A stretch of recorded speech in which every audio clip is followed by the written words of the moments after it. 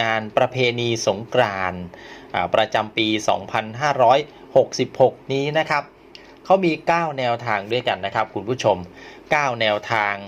ในการรณรงค์สืบสารสงกรานต์วิถีไทย ร่วมสารใจสู่สากล ก็คือ 1 เนี่ย ขอความร่วมมือหน่วยงานภาครัฐ เอกชน และก็ประชาชนจัดประเพณีสงกรานต์โดยมุ่งเน้น การสืบสารคุณค่า สาระ ของประเพณีอันดีงาม พร้อมกับเผยแพร่ประชาสัมพันธ์สู่การรับรู้ของชาวต่างชาตินะครับ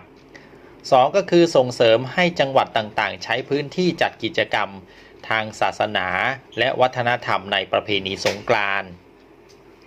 3. รณรงค์ให้ประชาชนร่วมกันสืบสาร คุณค่า สาระ และสิ่งที่ควรทำของประเพณีสงกรานต์ เช่น การทำบุญ การตักบาตร ส่งน้ำพระและขอพรผู้สูงอายุ 4. รณรงค์ให้แต่งกายที่สร้างภาพลักษณ์ความเป็นไทยนะครับ เช่น การใช้ผ้าไทย ผ้าท้องถิ่น เข้าร่วมกิจกรรมเพื่อสร้างการรับรู้ถึงอัตลักษณ์ความเป็นไทยต่อชาวต่างชาติ 5. ขอความร่วมมือให้หน่วยงานต่างๆ สนับสนุนศิลปินพื้นบ้าน พื่อเป็นการถ่ายทอดมรดกภูมิปัญญาทางวัฒนธรรม แล้วก็ให้เด็กเยาวชน ประชาชนทั่วไปเนี่ยได้ร่วมกันสืบสารประเพณีนะครับ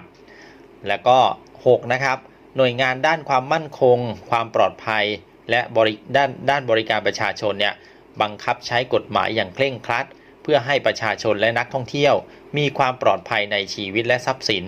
7. ขอความร่วมมือประชาชนใช้ยานพาหนะ และใช้ถนน ให้ปฏิบัติตามกฎหมายจราจรอย่างเคร่งครัด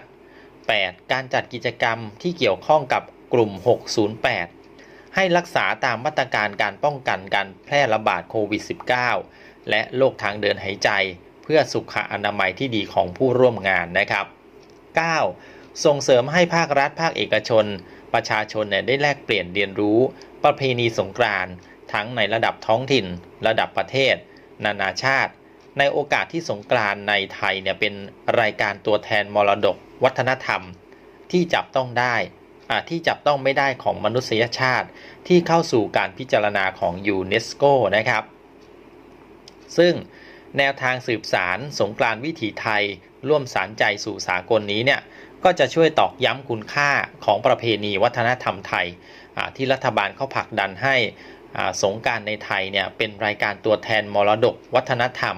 ที่จับต้องไม่ได้ของมนุษยชาติที่ของมนุษยชาติของยูเนสโกซึ่งยูเนสโกจะพิจารณาขึ้นทะเบียนภายในเดือนธันวาคม 2566 นี้นะครับ ทั้งหมดนี้คือ 9 แนวทางการจัดประเพณีสงกรานต์ปี 2566 นะครับ เพื่อเป็นการสืบสารคุณค่าทางวัฒนธรรม แล้วก็ผลักดันสงกานต์ไทย เป็นมรดกวัฒนธรรมที่จับต้องไม่ได้ของมนุษยชาติของยูเนสโกนะครับ